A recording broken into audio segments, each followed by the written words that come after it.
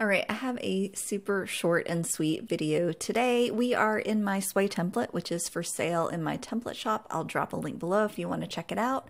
But in today's video, I wanted to show you how to link up an email address so that it's clickable and you can just send an email to that link.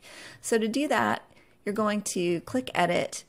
I'm going to edit the site footer in this template. I already have the text here, so you would highlight whatever text that is, but your email address, or it could say send an email.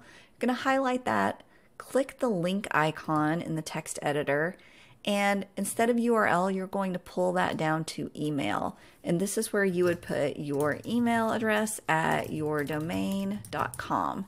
Now, you can also CC or BCC another email on this. So if you wanted to blind copy someone else, you could, or carbon copy. You can also add a subject and a body if you want to have things pre-filled out for someone who's clicking the link on your website. So say it's a link for a specific thing, you can go ahead and pre-fill the subject and the body so that's even less work for the person emailing you.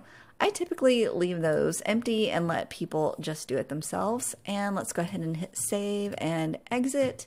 And now when I click this link, it will open up my mail program. Now, if someone does not have a mail program installed, then the link won't do anything. So it's good for that reason to have your email address listed out here so they can just copy and paste it into whatever they're using if it's in a browser that they're emailing from.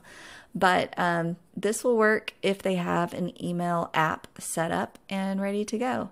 So, again, really simple tutorial, very easy to do, and it adds a way for people to easily contact you.